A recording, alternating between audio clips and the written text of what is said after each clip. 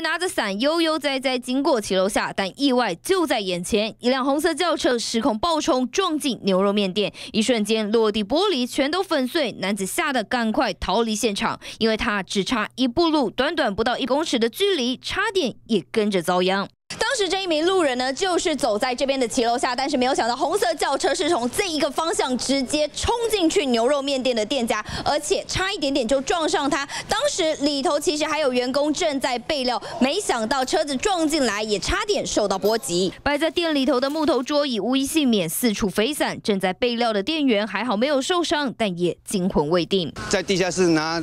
要准备到东西要煮的时候，啊，就是听到砰一声，啊，我就爬。跑跑上来，哦就往外面跑，他们三个从前面就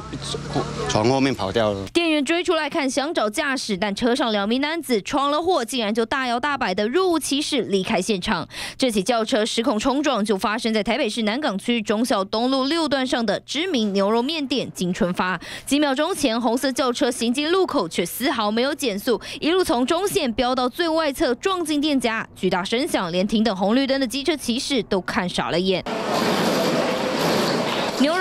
撞得满目疮痍，警方赶到现场，只能先紧急拉上封锁线，将车辆拖走。于是啊要过弯啊，